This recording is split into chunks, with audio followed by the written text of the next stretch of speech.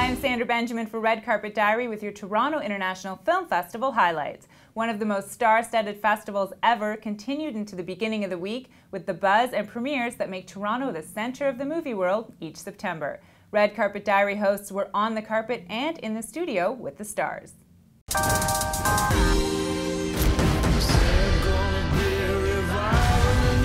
Tom, wait. She will wait and get you.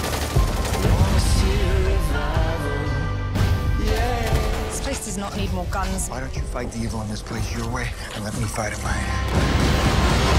It's, a, it's an incredibly remarkable, inspiring story, and, and, and Sam is, is that as a person. You know, when I when I met Sam and I started to hear his story and, and, and I started to um, understand a little better what was going on in Central Africa, it just scared the heck out of me. Well, I'm going into every war area that I can go into and rescue children. Africa has a very interesting side to it. If you've ever been, it's like it, you know, it's like the the kindle of mankind. Sort of that kind of affects you when you're working there.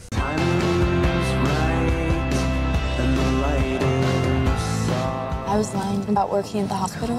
I'm a patient. Is that okay? This is a movie I think that's that's made for film lovers and for people who like unique, distinctive, very beautiful stories. Bryce and I went to college together. We went to NYU and uh, we studied acting together. And we just, you know, we were we were friends. And I um, actually wrote this as just kind of an experiment for myself. He has such a distinctive voice uh, and such a very particular way of seeing the world, very beautiful way of seeing the world that I was kind of instantaneously um, mesmerized by by that. What you've been going through, that's a tough deal. I'm Just trying to keep my head above water. I'm gonna hit you. How often do old people just haul off and cold cock like that?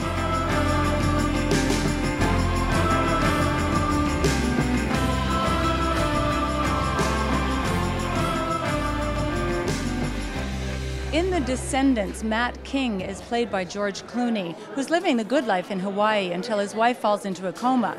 Then he's forced to raise his two daughters alone while struggling with selling off his family's land. George, they're saying that this is your finest and most mature performance yet. What are you saying? I say that they think I must have been very immature before.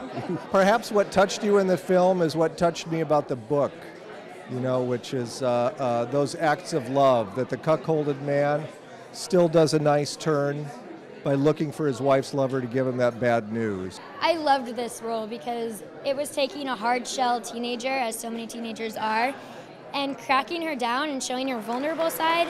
Thank you for that lovely introduction and welcome to the George Clooney Film Festival. My thing is, I really enjoy festivals. Promise me you'll keep our secret safe.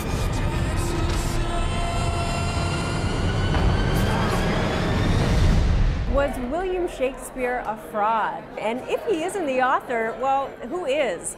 This is a film that takes a fictionalized look at the life of one possible candidate, the Earl of Oxford.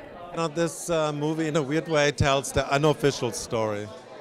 Uh, not only of like Shakespeare, but of also of their times and of Queen Elizabeth. If you look at the facts, it's a very compelling debate.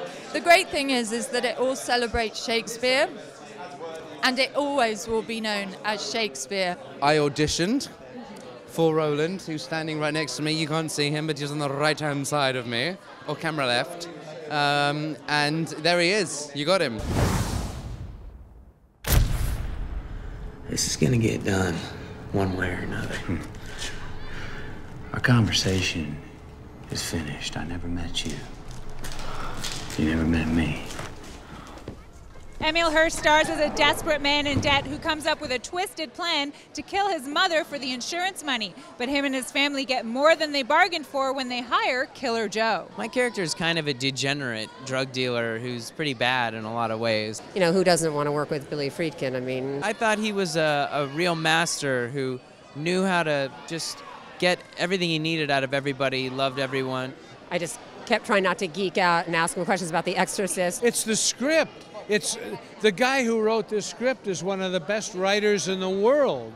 He won the Pulitzer Prize for drama 2 years ago. He's won the Tony Award for the best play on Broadway. Tell me about Matthew McConaughey as Killer Joe in this movie. He's the real deal. He's great in the movie. You'll see. Thanks for watching Red Carpet Diary highlights. We'll be back with more tomorrow. Remember to follow us on Twitter at Red Carpet Diary or like us on Facebook for all the latest updates of the most comprehensive coverage of the Toronto International Film Festival.